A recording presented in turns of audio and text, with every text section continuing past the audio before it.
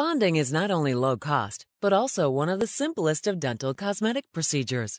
The composite resin used can be shaped and polished to one or multiple teeth to improve the appearance of discolored teeth, chipped teeth, to close spaces or gaps between teeth, or to lengthen teeth. First, a shade guide is used to select the perfect color. Your dentist will then etch and roughen the tooth. This process is painless and does not require anesthesia. The tooth is then coated with a conditioning liquid to help the bonding resin adhere. The resin is now applied to the tooth and molded to the perfect shape. Using a bright light or laser, the bonding resin is now hardened in place. Some further trimming and shaping are now performed to ensure the best possible look. One last polish, and you're ready to show the world your perfect smile. Hi, my name is Elizabeth and I'm at Whites Dental for today and I've just had my composite bonding done.